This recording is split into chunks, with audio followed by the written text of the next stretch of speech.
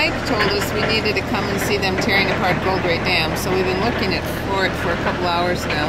Yay! We finally found it down this dirt road.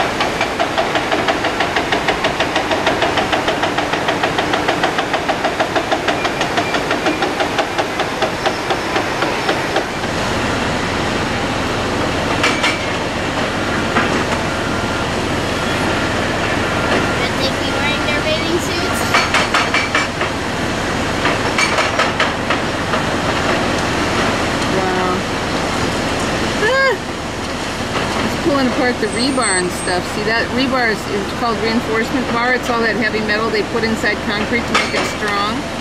But see all the pieces of it sticking out?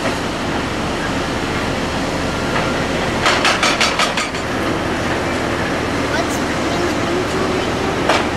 So, uh, so small.